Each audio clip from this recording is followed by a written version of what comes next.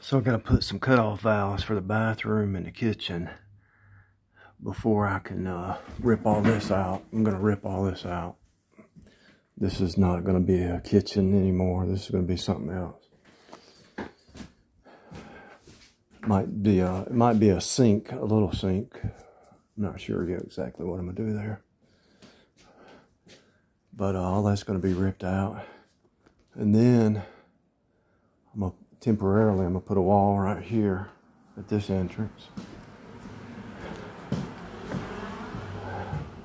This is the one that's done. And somebody's ready. Somebody's ready to add on to that. Now this bathroom looks terrible. Look at this. But when I get done with it, see this is the this is the cut off. I need a cut off right here before I can rip this out. I can't even take this. This is old stuff. You can't even take this out until you get a cut off because you got to cut the water off at the road.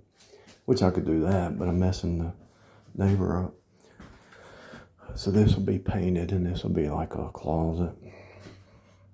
This will probably be ripped out and this will be just a stand up, stand up shower probably. And then a, a little closet area here for towels or whatever.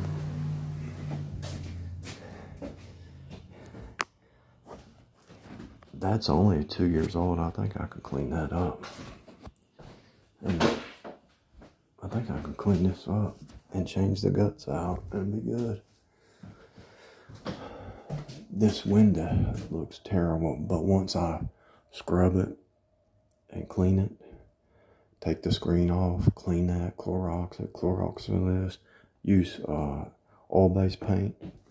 One of the reasons I want to do a stand-up is because it would keep less of a chance of water getting on this put maybe an exhaust fan here and maybe just turn this, have somebody uh, in a couple days put me a door in.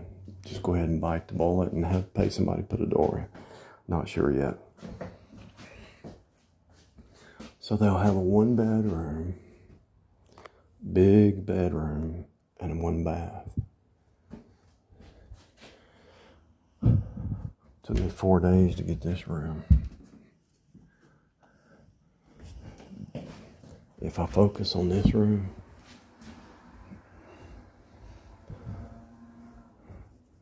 the painting I could do in a couple days. The cleaning and painting and putting this in and putting this in. But the floor, not sure. I'm going to have to pull that up and check the floor.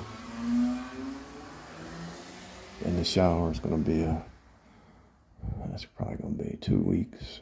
That's going to be a big job. The good thing about it, good thing about this shower though, back here I've got paneling that you can unscrew these screws and get into the get into these and check them and make sure they're good clean them up change out what I need to change out. But that spout and that and that could be cleaned. put a wall up here. They walk in. They got them a stand-up shower. Put a nice blind up there. Paint the ceiling, case this in, have a door right here. That'll be a piece of plywood. Have a door right here. And they'll have a pretty big bathroom from compared to some people.